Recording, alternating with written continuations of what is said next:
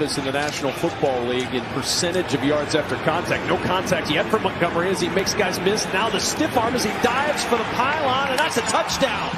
What a run by David Montgomery. 13 yards with a lot of work.